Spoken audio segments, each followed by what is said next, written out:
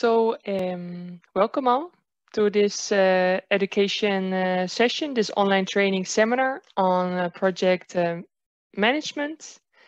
Um, this is a session that DUPC program is organizing together with um, Agnes from Project Management Institute Netherlands and Diana from Project Management Without Borders, who will introduce themselves uh, a little bit later. So this uh, session is part of um, many uh, training sessions that have been um, developed under the DUPC program, which is the partnership program of IHE Delft, funded by the Ministry of Foreign Affairs. Um, so during this session, we will uh, go over the project cycle and we'll also link this to real life examples. Um, the session will be one hour um, education session and at the end there will be half an hour questions. So we will try to answer the questions that people have already during the sessions, but for sure they will be answered at the end of the session. Next slide, please. So um, here you can see uh, me and uh, Diana and Agnes but I will ask them to introduce themselves because they can do that better than me. So please, uh, Diana, can you say a few words about yourself? Absolutely. So I'm Deanna Landers. I'm the founder and president of Project Managers Without Borders, and we also call ourselves PMWB. We're an international volunteer organization that partners with other organizations, other not-for-profit humanitarian organizations, to make them more efficient and effective. And today, I'm very happy to be here. We're partnering with these organizations to bring this material to you. Agnes? Okay. I'm Agnes Versteegen. I'm a, a, certified program manager, actually, uh, with AT&T, a telecom community uh, company. Uh, but part of my uh, certification, I'm part of the uh, Project Management Institute uh, Netherlands chapter. And um, we bring, uh, with the Education Foundation, we bring um, education to volunteering organizations and as well as schools. Thank you. And um, in the back, we have Wim, also from PMI Netherlands he uh, is uh, the guy uh, that makes it all possible that we are gathering here uh, online. Thank you uh, already, uh, Wim. Next slide, please. So this is a rather abstract picture of the program I work for. Oh, sorry, I forgot to introduce myself. My name is Nadine Sander and I work for the DUPC2 program um, which is, as I mentioned, financed by the Ministry of Foreign Affairs. Um, I'm a program assistant in this program for a bit uh, more than uh, four years at the moment. Okay, so I will tell a bit more about the program now in the next slides. So this is a, yeah, kind of an abstract picture of uh, the program. The program is a 40 million program that uh, financed many different types of activities. It's an IHE Delft Partnership Program. So all the activities are implemented together with uh, IHE partners in low and middle income uh, countries. They all address water development challenges and this, this picture presents a little bit the different types of activities we have in the synergy. So uh, we have focus regions in which we do uh, we support education and training activities, research and innovation, and also stimulate innovation through pilots and uh, demonstration. Um, so uh, yeah, I think that's it from my side. I would like to hand over to uh, Diana. Hi there. So yeah, we're going to, in this presentation, we're going to be using one primary example throughout. And, and so I want to give you a background on that now. The, the project we call Water Rico because it was providing clean water in Puerto Rico. And excuse me, the um, the people that we worked with were Rotary clubs, multiple Rotary clubs in the Denver area. and Denver, Colorado in the United States. The people that I was dealing with there, they had a really bad experience with the project in Madagascar where they were digging wells, providing water from wells, but they thought that the money that was invested in the wells was way more than the value than they were getting. It wasn't just a financial concern. It was really the value, the number of people serviced by these wells wasn't enough for the finances that they were providing. And, and so they really didn't feel that that was a good experience. And so they wanted to partner with us so that we could see if we could help them in, uh, in their next project. And they, they really needed to identify a new need. They need to find a community that could be helped by themselves to identify the solution and then also implement it. So our role was to be part of the team and then introducing them to, to project management concepts and helping them put those concepts into to practice in this project. So we identified the key phases of the project to be identifying the community, identifying a solution for that community, implementing the solution, and then obviously supporting as, as we go along. So I'd like to explain these pictures here so that you can understand when I, when I share examples of how that fits into this project management framework. Uh, you can see what it looks like, what this project was about. The leftmost one underneath the phrase phase one proof of concept was of course the proof of concept. If you look between the two people in the front, you can see a little bit of a concrete structure and that is the filter, a water filter. And so we created it out of concrete. The second photo has a little bit better picture of it. The first one was in Denver on the proof of concept, and we did a second proof of concept in Puerto Rico in the community in Puerto Rico. And that's what that second photo is. And the final product photo over on the right is made out of two buckets and filter. So it's uh, it's actually, you could notice that it did change over time. Because we had proofs of concept, we were able to identify what worked and didn't and ended up with this product at the right that you see. We ended up with with over a thousand of these uh, in Puerto Rico in an area that had been devastated by hurricanes. And so when we go through the examples, then you'll be able to, to picture these, these products as, as what we ended up with is, and, um, in our project. Okay. Okay. Well, um, we designed a, um, uh, uh, well, let's say a, um, education with a, a, little bit more simplified uh, project management where we uh, go through um, the next couple of slides. We go through the project lifecycle we have in total five phases. The first one is initiate and align um, so making sure that uh, as the initial project brief uh, that you define your goals, uh, your outcomes, your objectives and success criteria, and as well including uh, the business case part of your program, uh, part of your project. Um, you do as well in the first phase, you do quite a lot of uh, research, uh, trying to get relevant information on, the subject, what you need to deliver and as well you identify your uh, resources and how you engage with each other we have included throughout uh, the slides, we have some um, templates. Uh, some are in the backup and uh, uh Nadine will send the presentation as well afterwards to all of you. And you can uh, use the templates if, if, uh, if they are applicable. The next phase is plan the work. Um, so um, my understanding is as an output of uh, your planning process, it's the DUPC uh, proposal, DUPC plan. But in uh, planning the work, it's basically uh, defining, developing all the criteria for your objectives and output, your scope. Um, of course, identify all the things you need to do to deliver upon the objectives. So all the, the uh, uh, activities and as well identify assumptions, constraints, and risks. We will go to a, a couple of uh, topics in more depth, such as risk management in uh, the next uh, section. Next slide, please. Okay, then we have work the plan and monitor and control.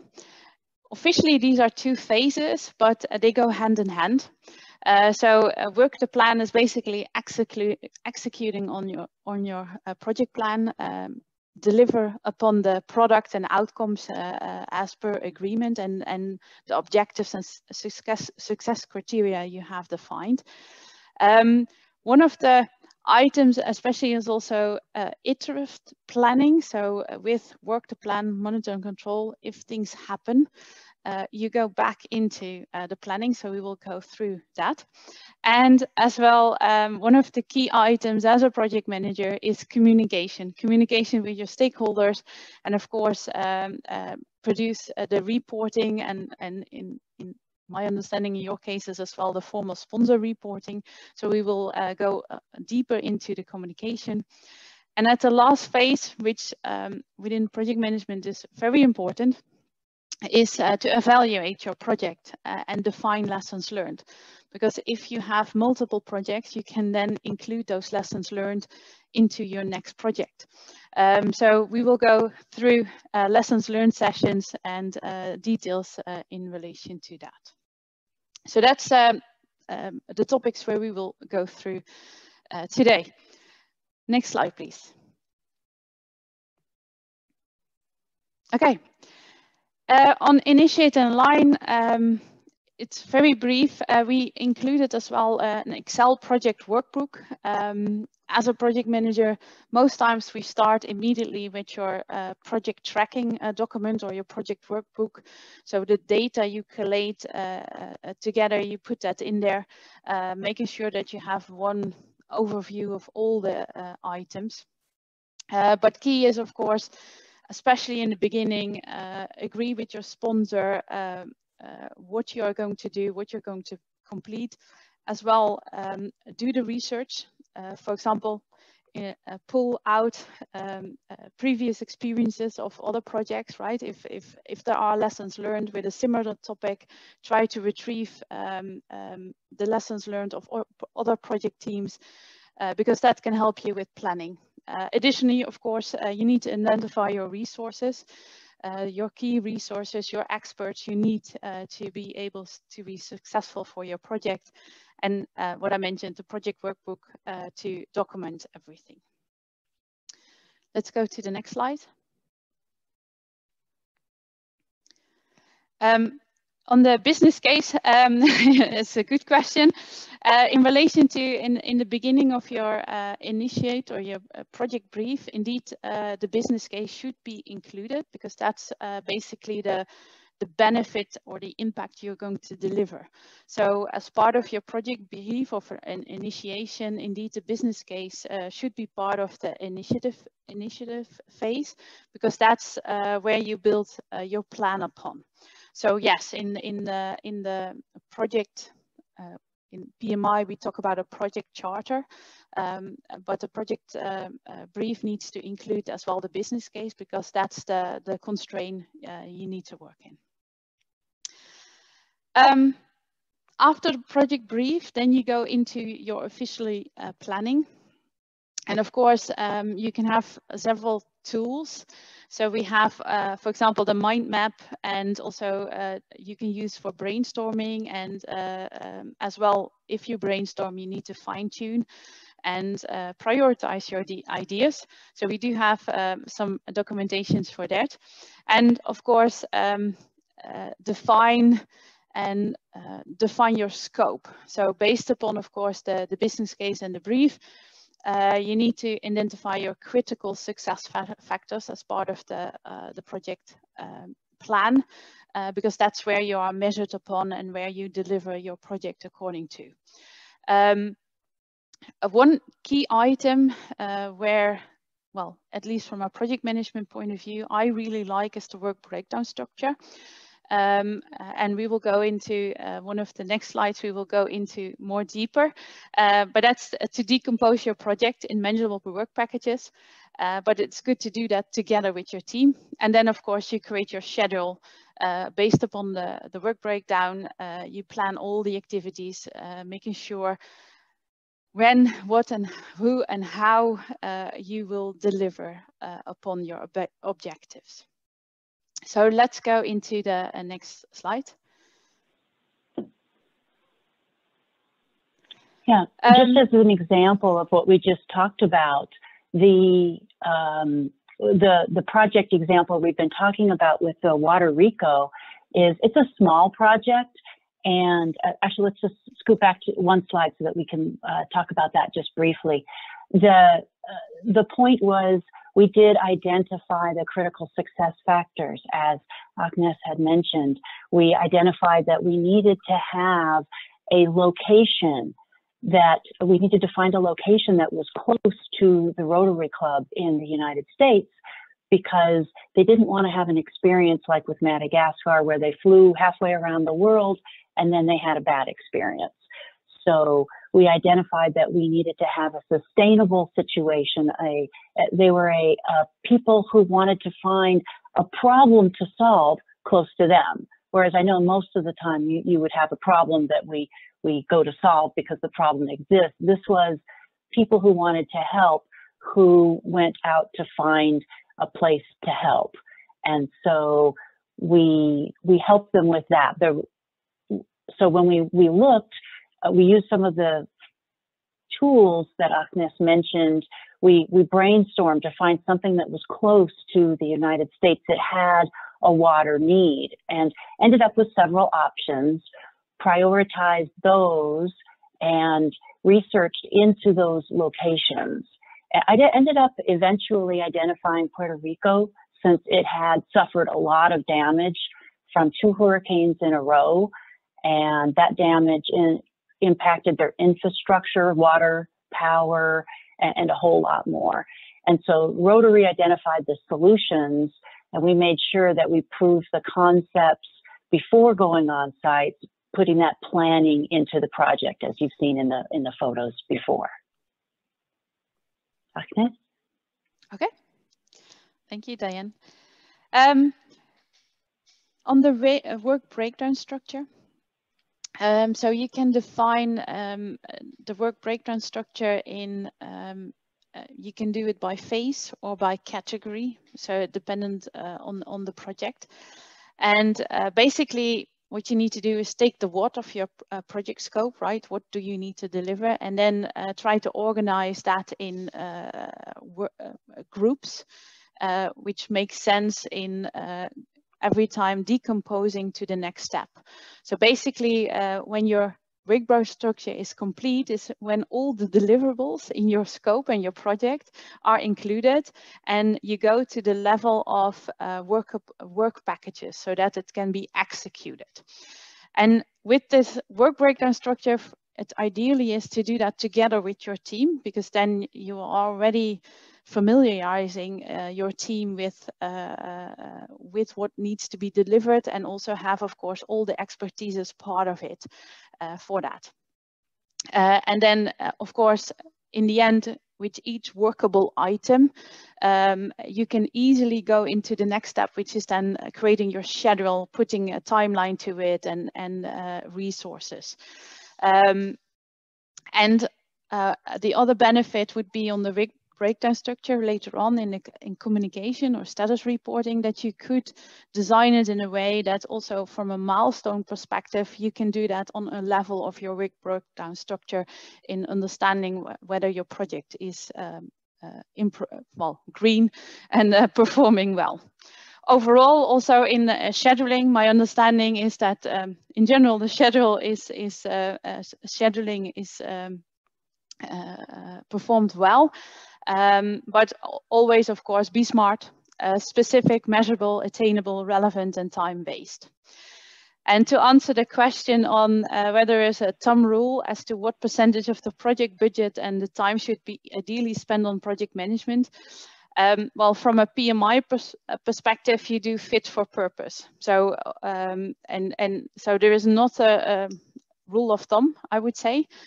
Uh, but from my experience perspective, uh, the more you plan, uh, the, the better your project uh, flows, uh, especially if we go into some of the next slides in, in relation to uh, risk management. Let me go to, to the... To add to that, I would say that um, you can either do it right or you can do it over. And, um, you know, if you don't do your right, your planning in the beginning, then you end up spending time on what you shouldn't, and you end up taking more time than you should have anyway. So there's huge value in, in that plan. So uh, just as an example for the WBS, the goal in our Water Rico project was to positively impact the community by providing dependable, clean drinking water. And so when we when we were there, we realized that there were two cultures we were dealing with: the Rotary culture and the Puerto Rican culture. Puerto Rico is a territory of the United States, has a different language that's spoken there, and things are are quite different from the team that was Rotary from the United States. And when we combined those, we recognized that we really needed some flexibility. So we did create a WBS we we provided with project management discipline we're able to help them get better results through using the WBS instead of a schedule which was kind of interesting. You know the the time frames weren't weren't there. In larger projects I, I worked with for IBM and it's very clear you have your here's your schedule and this is very straight. You do these sorts of things at least from a waterfall perspective. In this case it was very flexible and it needed to be. But the WBS was essential to keep going back to here's what needs to happen. We had a counterpart project manager in Puerto Rico from the Rotary, and his role was to coordinate there. And he chose much less granular tasks like uh, maybe they were you know, like provisioning, um, assembly of the, the units, training and things like that. And there were individuals responsible for those. And they, it, it's, it was really important to them to have that responsibility, but they didn't want to be, have it broken down into very extremely uh, detailed tasks. And so the WBS was essential. Uh, the key point there was to have the discipline, the framework, but be aware that it can be improved. And it's just more important uh, to, to have that plan and the flexibility in case the situation changes.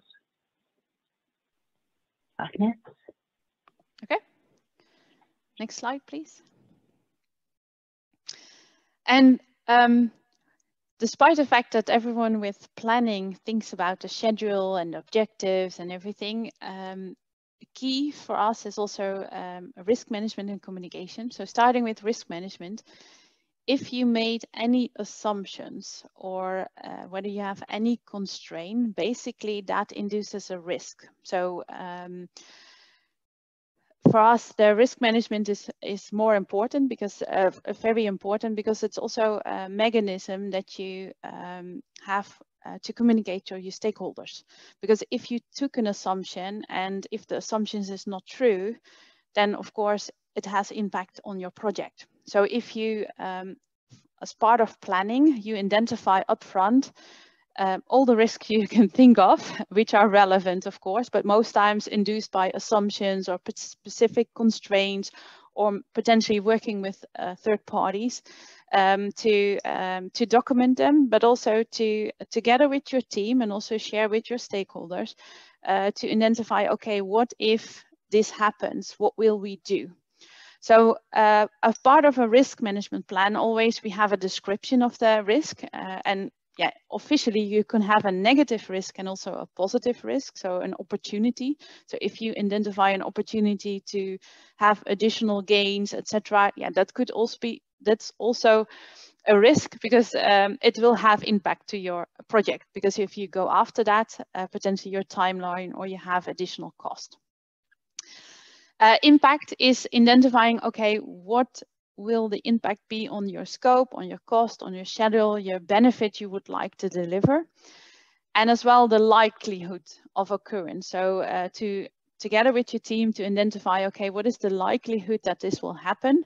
And based upon that as well to identify a risk response strategy. Uh, so what can you do to minimize the risk or even in some instances to avoid and uh, yeah, prevent it uh, overall?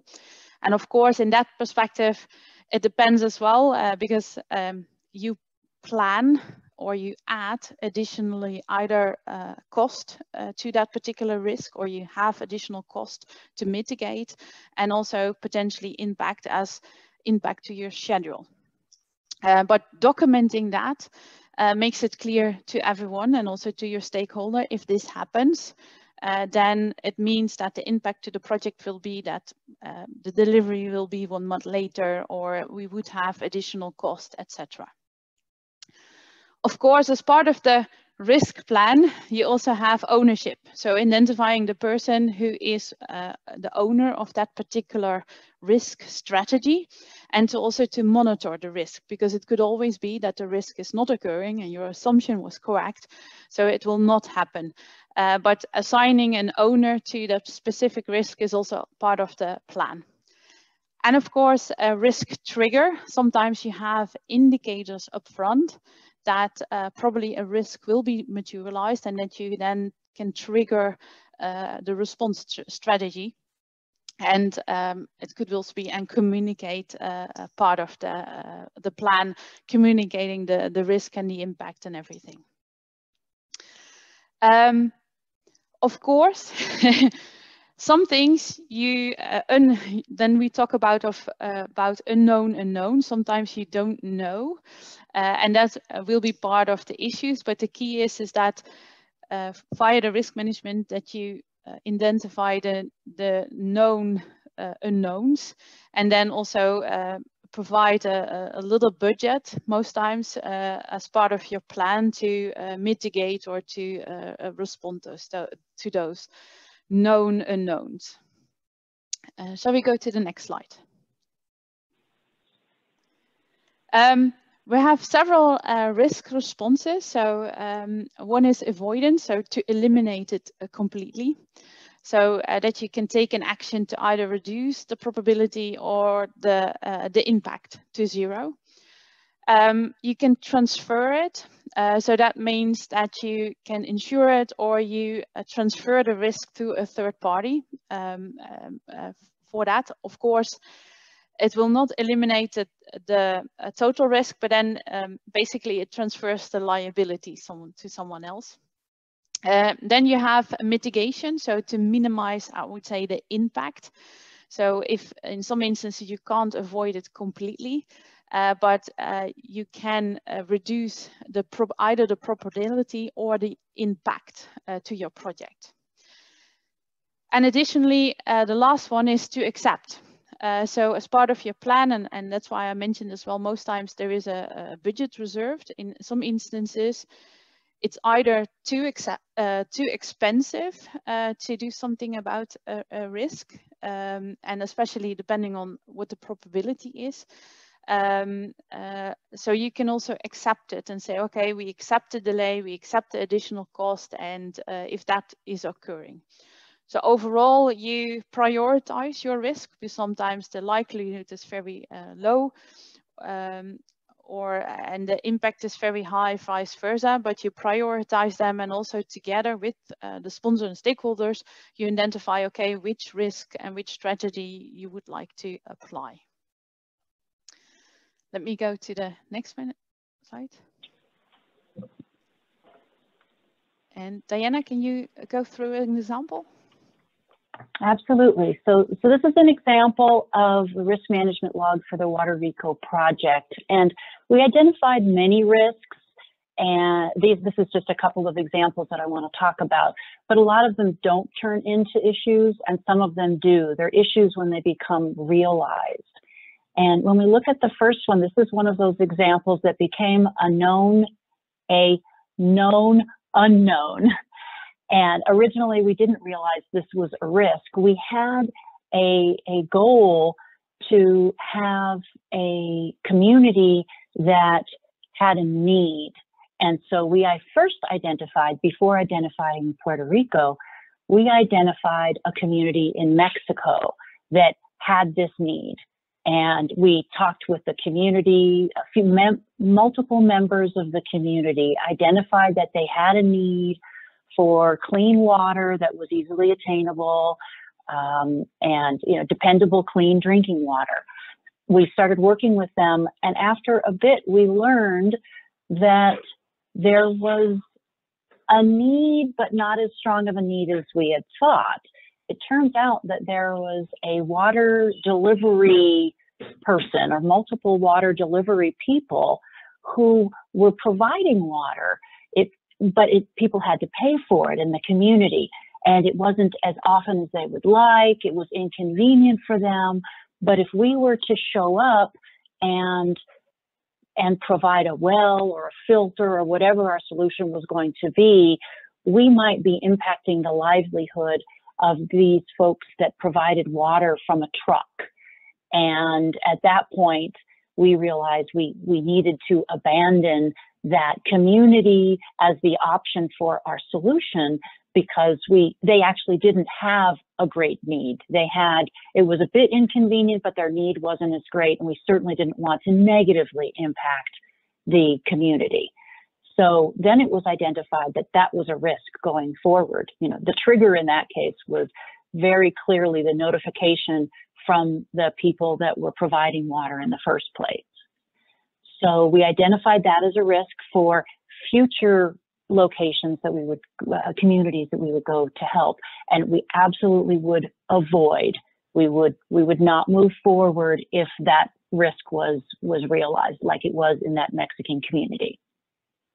The next one is that we wouldn't be able to get materials locally. It was also a, a very important goal to be sustainable with this project, and so we needed to make sure that we didn't have to bring a lot of equipment or materials from the United States, and we could get it in Puerto Rico, which was uh, you know where we ended up having the project. And so what we ended up doing is we recognized that we would mitigate as much as possible with uh, with the materials. We would make sure that we could identify and locate all of the materials that we could in Puerto Rico. But then if there were any sort of a triggering event. Every year there's hurricane season. If that were to happen again, it might be that the, the materials aren't available for, for new filters. So we were going to accept that part because it happens so infrequently, but also we could we could ship material if required. So we, it was a combination of both. We mitigated by choosing a solution, a technical solution a product that we could use the materials that were on site. But of course, there was a risk that sometimes there wouldn't be those materials, but those were in cases that were not very likely to happen uh, very often in any case with the, the hurricanes or other some sort of disaster. So this is actually the log that we use to help us review and validate where we are, understand what we needed to do ahead of time to to mitigate and and identify how to handle it if they happened you know as those risks so we could avoid them or or mitigate them as appropriate next slide and to answer the question uh, whether um, it's uh, just a, an emergency management or uh, um, what is necessary for long time risk management, well, risk management is part of uh, your full project. So it is, again, iterative. Um, so, and you monitor it uh, during your project. So it could be that as part of, um, yeah, what we do uh, as part of the, the project, also uh, discuss risks uh, continuously. So if, uh, because additional risk can occur or additional risk can appear. So it's a, a, a risk log is a living document and you adjust it according, uh, yeah, how your project is, is uh, um, uh, going and uh, add to it or in some instances uh, if um, you can add as well a timeline so sometimes you have very um, detailed risk plans uh, depending on your project it's it's fit for purpose uh, but you can include as well timelines to it. So uh, making sure that with the owner that maybe the risk only is a during a period of your project and then if it didn't occur then you close it um, and it can be additional risk can be added. So it's a continuous um, activity you do during your project um, and it's part of planning and later on we will say it uh, that's why we talk also about iterative planning but uh, we will go uh, in a couple of slides, we will go more in depth to that. As part of your plan, you also plan communication. So um, uh, to create a communication plan, so uh, who needs what information to your stakeholders, also to your project team, when would they need the information? So not only the official, I would say, uh, status reporting, etc., but also uh, uh, status uh, or communication with your project team or with uh, suppliers or specific stakeholders. Um, and the communication always uh, consists of who, when, where, what, and how you deliver that communication. So it could be either a meeting you have on a regular basis or you have an official status report or um, um, um, uh, so all the documentation of all the communication is uh, documented in the plan. Of course, still depending if you if uh, during your project you have an issue and then you have ad hoc meetings, uh, those will not be part of your communication plan uh, if they are not regularly, but in general plan your communication. And as well, uh, with that, you ensure that uh, you uh, provide to your stakeholders, and that can include sponsor, all your stakeholders, that they have the right information at the right time to achieve the objectives and uh, yeah, see the results of the project. And uh, th that's the way how you um, show your progress on your project. Let's go to the next slide. Oh, sorry. Um, Diane, do you have an example on the communication? Oh no, sorry. Um, I didn't, but but I guess I'll mention why I, I didn't, and that was this is a very small project, and so we actually used status reporting for communication and and had uh, you know these regular meetings between the the teams where that was the plan. We would talk very frequently, and, and it was a very small project. So there, there wasn't a lot in that space that we did. Okay. Thank you, Dan. Okay. Well, as soon as you have your plan, and then it needs to be signed off by your sponsor and your stakeholders that they know what you do, uh, that they know the risks, etc. And then, of course, uh, after approval, you execute on the plan. Um, and what I mentioned, work the plan, monitoring, controlling go hand by hand. Uh, uh, because of course, um, if you deliver, you also need to check whether you deliver according to success criteria and everything which you agreed with uh, your stakeholders. And um, with that, if something deviates, uh, because for example, quality is, a, uh, you have your quality, your cost, your schedule, your scope, your budget, and what you are going to deliver. Uh, if you deviate, then uh, you need to adjust your plan accordingly and to have that iterative planning. Because overall, I think um, there are rarely projects who are executed without any issue or without any changes. Um, so it's part of uh, what we do uh, and it's part of why we are there um, uh, for that. And the key, of course, as well, as soon as um, um, um you deliver and according the plan you also uh, provide a project status. You gather all the documentation during the the work to plan and and basically part of the monitoring and controlling uh, that you uh, gather the status where you are on the project and communicate it as according to plan. So let's go to the next slide. And that's um, the iterative planning. So uh, often uh, when we do or when we create a schedule and depending, we have now as well uh, a lot of agile uh, approaches, etc. So, but overall, uh, you plan, uh, you create a plan, you made assumptions, things happen, right? you have unknown unknowns. So overall, um, planning is, well, executing and planning, it's iterative. Uh, so if you deviate from your scope of something happens or you have an additional opportunity and you need to go back uh, to your planning and uh, adjust uh, your plan in agreement with the stakeholders, have that discussion and saying, okay, um, we assumed uh, that we have a third party or that resources were available, something happened, uh, maybe uh, someone had an accident. yeah, it's something you can't, uh, you need to deal with. So uh, basically you go back to your planning. So you go back to your schedule, you identify, okay, with this change, uh, it's basically change management. With this change, what is the impact? What are the possibilities? You uh, create a new plan uh, and then uh, agree with your stakeholders. And um, I think that's uh, one of the key items sometimes, depending on what type of process you have, the, the planning and all the, the agreements are made uh, very early uh, with a lot of assumptions and then you start executing. It could be that there is a, a quite some time in between. Uh, so you need to assess as well, is are my assumptions still correct? Are um, are we delivering? Are there any things we didn't think about? Because that could still happen. And then you go back into planning and then execution.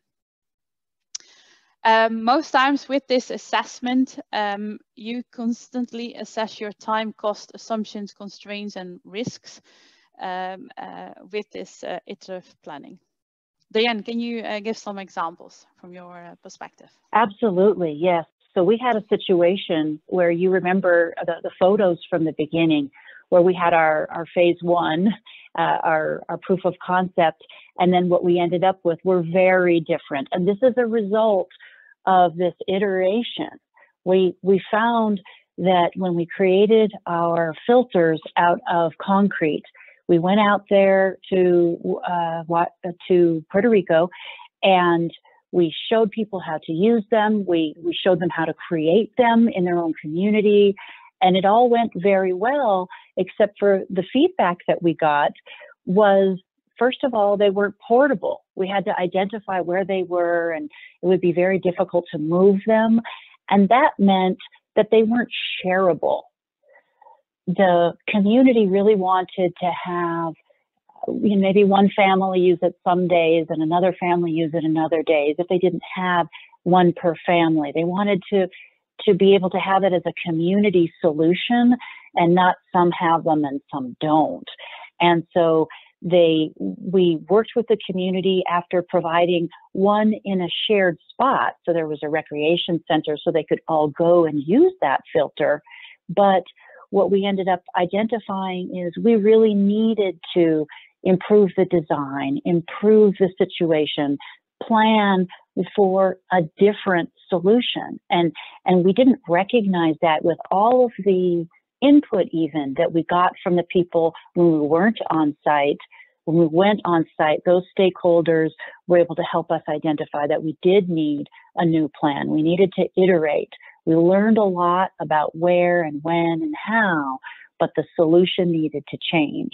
So what we ended up with were was a solution, a product that entailed just it just was two plastic buckets with a piece that was easily ordered. It, it was not local, so that was that goes back to our risks. We had there was one piece that was very important that we needed to get from someplace else, but everything else was was local. It was very easy to get these buckets. They could move them. And as a matter of fact, we started conversations on how locally they could create those those filter, the actual filter pieces, components of, of the solution. And so just to make the point really clear that I made before, the flexibility leads to the iteration. You, you, iterations, you use iterations to be more flexible, and that was essential in our water recall project. Go to the next slide.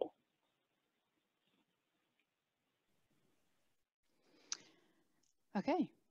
Well, and part of your project, and uh, that's also, um, we have that Excel workbook, and it's, a, again, a, a simplified version. Um, but it's good to um, uh, to monitor your project on a I would say even weekly, monthly basis on a project level, and then probably monthly, yearly on the sponsor level. What I understand you have, um, um, yeah, formal reporting to do. But as a project manager, it's good to have a simplified way to see uh, how your project is doing. So from a dimension, um, you can use the red, amber, green. Uh, are we overall, uh, are we uh, going to meet uh, according the schedule, going to meet uh, according the quality, etc. And but also you can do that on scope, time, cost, and and your stakeholders, and especially on the stakeholders, also reach out uh, to them to say, okay, do you think, or to your project team, in in are we doing well uh, for that, and um, so you can use that red, amber, green uh, uh, perspective, and then also the trend uh, is important. Are we uh, are we stable? Uh, let's say amber but stable, or uh, and green for that, or are we worsening, right, or improving? So that's also good to to provide in your in your status, and that's also record and document your status on a consistent basis because then as a project manager you on on top of things uh, also um, uh, if things happen what i mentioned uh, the risks uh, etc make sure that you uh, keep track of it uh, for that because that gives you um, that you yeah that you are in control of your project and also easily can report and ask your team as well to be part of that uh, weekly, monthly uh, project level reporting. That's for yourself. And then uh, probably monthly, uh, most times is fit for purpose uh, to do the official or formal uh, reporting. And again, fit for purpose. Um, as part of your communication plan, um, ask as well your stakeholders uh, what type of information they want to receive and also on uh, which uh, time period for that. Deanna. So the Rotary had their own reporting requirements. So this organization we were working with. So we used those reports that were developed from years of experience with small humanitarian projects. But they were really focused on on the financial. They were financial in nature, but they ventured into the realm of impact but really only at the end. So we had this reporting structure that our partner wanted to use, but they weren't very interested in the reporting as we went along. And so what we identified is when working with our stakeholders that we were able to actually improve performance of realize that the people involved in this project, every one of them was a volunteer. So we had Rotary volunteers, we had Project Managers Without Borders volunteers, volunteers from the community. What we, we recognized, or what we were help, able to we were able to help them recognize, was that we were able to provide incentives to the volunteers from a competitive perspective by putting up there the you know sort of on a, a chart that was shared the, the various uh, areas of focus like the, the procurement and the, the training. And we even put up the, the number of, of units that we had produced for, for the day, for the weekend. There was a weekend where everybody came together, the community helped build these units. And we, we reported in both of those ways. We had the people responsible for training um, you know, we actually went to an amber color once and it made somebody very upset, but it, it also helped them understand that we really needed to, to make sure that we got that done before so it would be useful. There's no reason to the, the impact is so little if we were to provide the units without the training.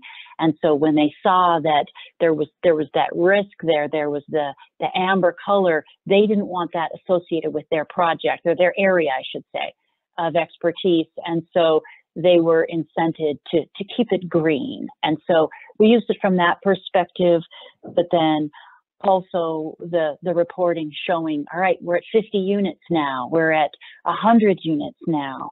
And, um, and that was exactly what happened is the first time around we did 100 units and, or actually the very first time we did three units. Uh, the next time around we did 100 units. And then the final trip over, there were a thousand units.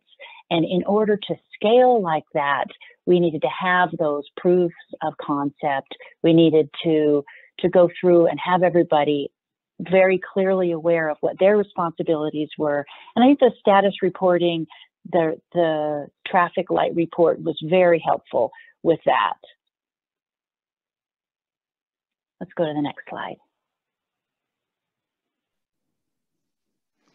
Okay, and then the last phase, uh, transition and closure. As a project managers, uh, well, as soon as you have delivered everything, sometimes you need to transition uh, uh things to life cycle or to the organization. And then, of course, the last portion, uh, the closure. Uh, some of the key components is to document lessons learned, uh, gather lessons learned with the project team and also with your stakeholders, and of course, in the end, the project closure. So summarize your project and, and then have a formal close with your project sponsor and or customer for that. So can we go to the next slide? So uh, lessons learned, uh, basically it's uh, what worked well, right? Uh, what worked well, what could we have done better? Uh, what type of risks uh, materialized? Did we encounter issues? Um, were there any obstacles um, um, happening to achieve the full project? Um, and um, also recommendations.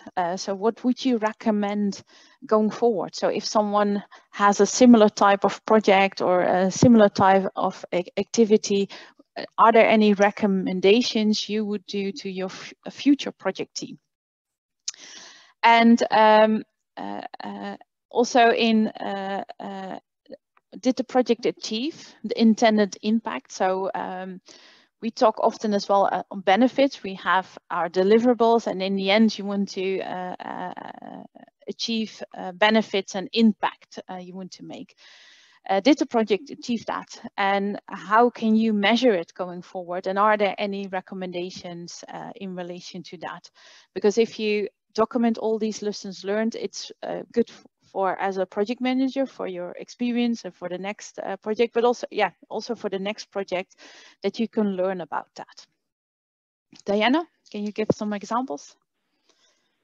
Absolutely. So this is this is an interesting example in my mind because the Rotary Club, as I noted, has done lots of small projects and it's always a different person. It's always a different project. They identify the location, the community they will support. They identify the solution all differently. And they did not have an appetite to record any lessons learned. The people who were there involved weren't interested in in doing this project. They were going to go off and do something different. And interesting in this particular case that the lessons learned was not something that they were interested in doing, but I think it could have been valuable. But I also see where, in their situation, from the perspective of the few volunteers that we had as our as our uh, point of contact, that that wasn't something that they would like to do. I've seen that also in business. I've worked for lots of large companies, and large companies tend to do lessons learned. The smaller ones don't tend to. They think that it's Eh, kind of like this small project. So I want to provide one more example in this case, and that was for actually a different partner that we had, which was SCL Health, uh, a health organization with hospitals and things like that. The project was to take equipment that was in a hospital that was uh, that was decommissioned. They created a built a new hospital next door, and they were not going to move the equipment. So they were planning on shipping that equipment to Tanzania for some clinics there. And what we ended up doing is working with them after, you know, during the whole thing. I won't go into those details, but in the end, we had those conversations with them. We said, what did you learn? What went well? What didn't go well? What was the impact of your work? What were the benefits of what, what happened? And what we ended up doing was in, is putting that into an impact report. And that impact report shared what the value was, not just for the beneficiaries, not just for those patients in Tanzania, but for the doctors in Tanzania that learned a new skill, that have new training for the new doctors that came to that clinic, for the people who were the volunteers from the from SCL Health, the doctors that actually flew over to Tanzania to, to provide the training, to give examples of procedures, to really uh, help them identify how to use the equipment, the new equipment that was there that, that we had shipped over. And so it wasn't just, and the IT people, there were IT people that went over to put it all together, make it all work. And we provided information on the impact to them as well. They appreciated their work with SCL Health more because they could make an impact to a community. They, they weren't, of course, they were providing impact in their day jobs, but they were able to provide an impact that was above and beyond. And that really made them appreciate their work more. It made them look at their jobs differently, at their employers differently. So, uh, a point I wanted to make there is there's just, it's not just the impact for those that are the beneficiaries, it's everybody involved, all of the stakeholders. And then one last point there, it was a huge success story. This was a mission that they did every other year and in this case, they, the management of SCL Health wasn't sure that it was that it was worthwhile to support this endeavor in you know after they finished the last one. And what the organization the management did that worked with this project is they took our impact report to the leadership of the organization and showed the impact showed what we measured, showed the impact on their employees, on the doctors there and here, and the, the patients. And that actually was the key bit of information that helped the leadership identify that they would continue with the program because of that value. If they hadn't recorded it, if they hadn't put it, put that in writing, then they wouldn't have been able to continue with the program and continue to provide those benefits and that impact that we were able to document and share. So that was a huge win from a lessons learned perspective and sharing impact for, for that particular partner. Let's go to the next slide. Okay, and then as last one, the project closure. Of course, you need to ensure that you have obtained your approval from the customer or your and your sponsor and your donor formally to close the project. And then um, with all the documentation uh, you created, uh, ensure that you um, um, um share that on a uh, shared um, yeah, retain that on a shared drive or a shared uh, area. And um, of course, um, there's one additional item you need to ensure you finalize, close the procurements before you close your project, right? Uh, especially if you're working with third-party suppliers. But in the closure document, um, yeah, mention what happened during the project, were the de deviation to the project uh, criteria, your objectives, your deliverables, any time, cost, um, uh, uh, what happened with the risk? Did you identify all of them? Uh, were there, um, let's say, issues of items you didn't identify? And also, was the effectiveness of your response or your plan to mitigate uh, and uh, yeah, uh, change the, the risk impact, uh, were they effective? Yes or no? And indeed include all the lessons learned. So overall, uh, you have your closure uh, documentation and yeah, what we do uh, within business, we have a shared location uh, to retain this project history because again, if you we go back into the initiation, we use that as a start of a project to see on the shared location, are there any uh, similar type projects uh, because sometimes you are assigned, uh, you haven't done a, a, certain type of project yet. So you need to learn that. And uh, this, um, yeah, let's say project history and documentation is very useful uh, for any new project. Um, so this is the, the project closure. Um, um, so now we are opening up for questions. Before we do that, um, Nadine will send out a survey uh, to talk about lessons learned. Um, we are, uh, we would appreciate if you get uh, provide us feedback uh, on the content. So we have a couple of questions uh, because yeah, we would like to uh, improve as well our education and understand what you yeah, what your feedback is of, of this session. So Nadine will send that out uh, uh, probably in the next week to all of you to provide us feedback. So let's uh, open up for questions.